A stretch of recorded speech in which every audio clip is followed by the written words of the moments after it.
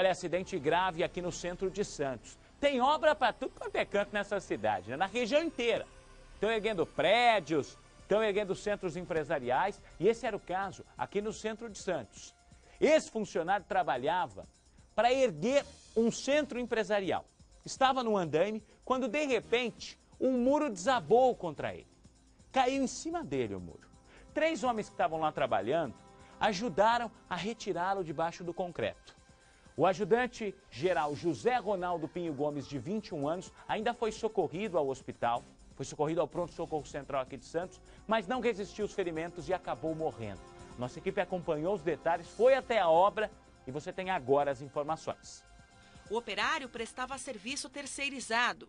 Ele estava em um andaime e fazia o corte desse muro quando foi atingido por parte da estrutura.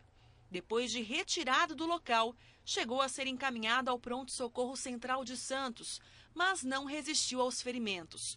Nossa equipe não teve acesso ao terreno, que vai abrigar um centro empresarial nesse ponto do centro da cidade. Logo após o acidente, a perícia esteve no local.